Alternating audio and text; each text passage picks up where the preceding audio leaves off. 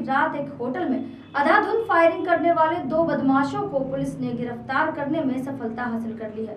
घटना को अंजाम देते समय बदमाश सीसीटीवी कैमरे में कैद हो गए थे, जिसकी मदद से पुलिस ने आज दो बदमाशों को पकड़ लिया है।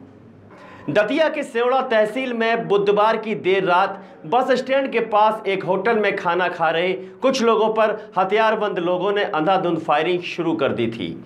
अचानक हुई इस फायरिंग से आसपास के लोगों में भगदड़ मच गई थी। वहीं कुछ लोग गोली के छर्रे लगने से घायल भी हो गए थे, जिनका अभी भी इलाज चल रहा है। फायरिंग करने के बाद बदमाश वहाँ से भाग निकले थे। हालाँकि घटना को अंजाम देते हुए बदमाशों की तस्वीरें वहाँ पर लगे एक सीसीटीवी कैमरे में कैद हो गई थी, जिनकी मदद से पुलिस आरोपियों की तलाश कर रही थी। आज पुलिस ने उनमें से दो बदमाशों, रामकिशोर और जगरू बघेल को गिरफ़्तार कर लिया है।